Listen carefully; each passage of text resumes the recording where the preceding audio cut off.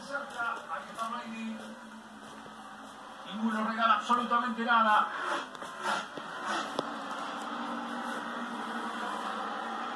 ¡Qué bárbaro! Ahí está Hamlin, impresionante. Clase de manejo ahora entre los dos. Viene Chase para hacer el nuevo segundo. Hay pelea de a tres en la punta de la carrera. Absolutamente. Toyota Ford y Chevrolet en la batalla por la punta 72 del final. Lo fueron a preparar a Denny Hamlin. No pudo superar Ryan Blaney, pero me parece que si lo hacen enojar un poco de más, el 11, miren cómo va tirando ahora fuerte. Ninguno se rinde. Ahí está la imagen aérea que nos permite divisar la diferencia entre los tres primeros. Casi no existe la diferencia. Hamlin se va a defender de Elliot en la recta opuesta.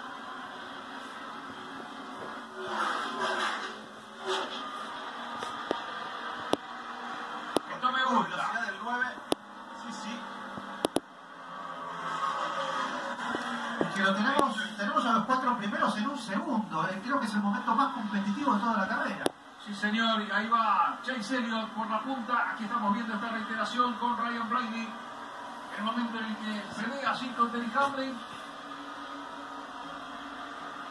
Claro, Dani, por este es el momento en que Blaney lo intentaba y finalmente Se se, ponía de costado un pelito a la hora de traccionar, aplicar potencia.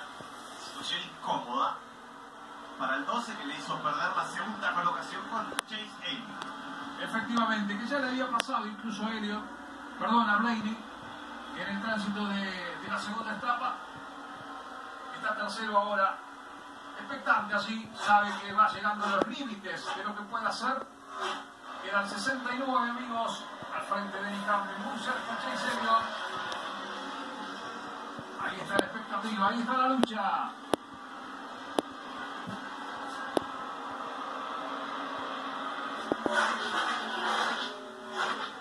Esta lucha del segundo pelotón.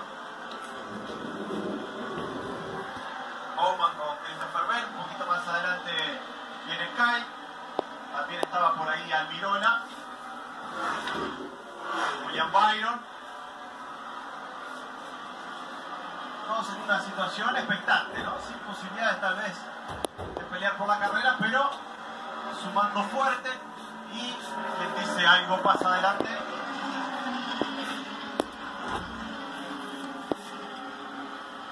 Empieza a escaparse Hamlin ahora.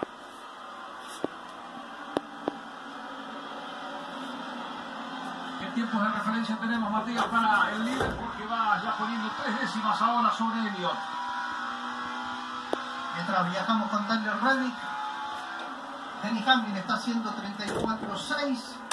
Vuelta idéntica para su escolta Chase Elliott, Ryan Blaney desde la tercera ubicación. 34-69, mientras que Tyler Reddick hace 34-77.